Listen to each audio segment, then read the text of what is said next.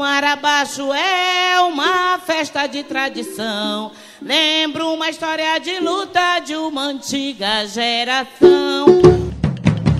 Aonde tu vai O dia 16 de junho é marcado pelo Dia Estadual do Marabaixo, importante manifestação cultural de origem africana que manifesta suas tradições em cânticos.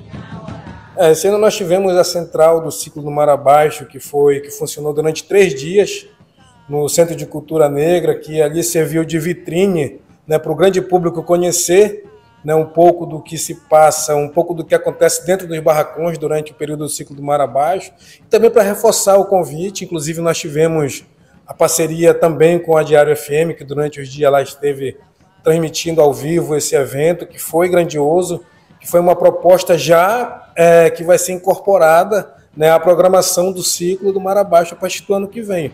Ao som do rufar das caixas, do ecoar das canções e do balanço das saias floridas, o Dia Estadual do Mar Abaixo será celebrado hoje, a partir das 18 horas, em frente à Casa do Artesão, na Orla de Macapá. Os grupos marabaixeiros, Berço do Marabaixo, Azembique, Raízes da Favela, Mestre Pavão, Raízes do Marabatuque e Marabaixo da Juventude, que fazem parte do ciclo do Marabaixo, são algumas das atrações. É, em nome da Fundação Marabaixo, em nome da presidente Josilana, em nome do governo do estado, né, nós, podemos, nós só podemos dizer que a missão foi cumprida, esse propósito de apoiar e, e, e, e dar suporte né, para que essa manifestação se fortaleça cada vez mais.